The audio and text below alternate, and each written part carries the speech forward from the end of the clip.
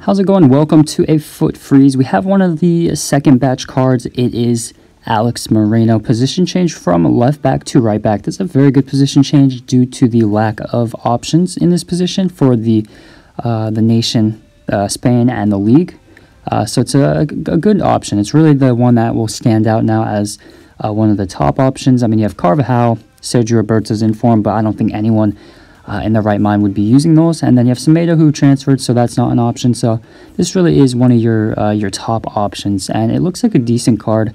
Uh, he is dropping in price a lot. He's crashing. Uh, he's gone 20k down on Xbox. He's settling at around like 50 to 60k today uh, on both consoles, and I can only see him going down even more now.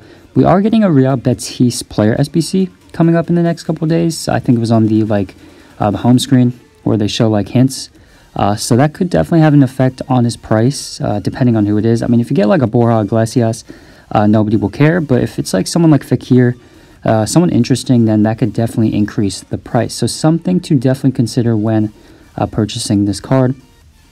Uh, but yeah, we'll get into the stats. Of course, 89 acceleration, 92 sprint speed.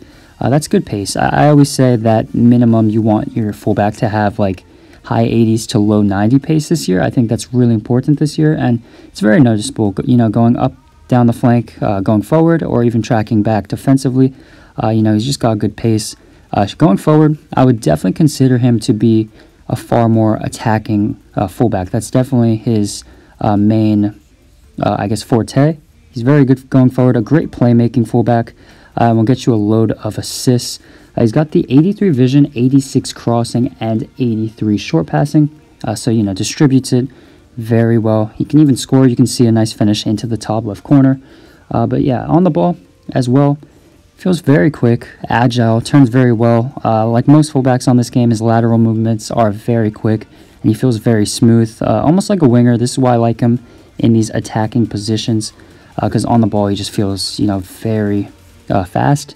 Uh, so yeah, 92 agility, 86 balance, 80 reactions, which is all right for a defender. Uh, 84 dribbling and 81 ball control. 65 composure, uh, composure is pretty noticeable uh, when you look at the stats itself, but didn't have too much of an issue with it. Now, if someone uh, you're playing, which I guess is a lot of people in this community, uh, team press or do like press after possession loss, you might notice it when you're trying to play out of the back or build up play, and then off the press, he might uh, lose possession off a pass or something. So that's something uh, definitely to consider. But I didn't have that much of an issue. That really wasn't my main concern. But if there was a huge con, perhaps uh, that would be the main uh, stat to look at.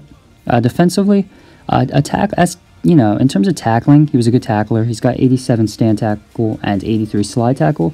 But when it came to zonal defensive ability and just understanding what was around him, uh, he wasn't the best, I'd say quite average. Uh, you know, he did get caught out uh, off the counter, uh, and that's just because he found himself very high up the pitch. Now, I know uh, you can mess with instructions and fix that, but that was a little noticeable. But uh, yeah, just something to consider. he still got decent stats in terms of that 81 interceptions, 82 defensive awareness, and then physically, 99 stamina is the thing, is the main stat that stands out here, and that is uh, very important for a fullback, and you know he'll last the full game. That's you know that's a really good stat. So overall, I think he's a decent option. You know he's not that expensive. Definitely, probably the best Spanish right back and the best La Liga right back that there is in the game. So it's definitely a huge option. And uh, yeah, I'd probably recommend trying him out. So that's going to be my Alex Moreno review. Please like the video. Of course, subscribe. Comment down below who you'd like to see next. And thank you for watching.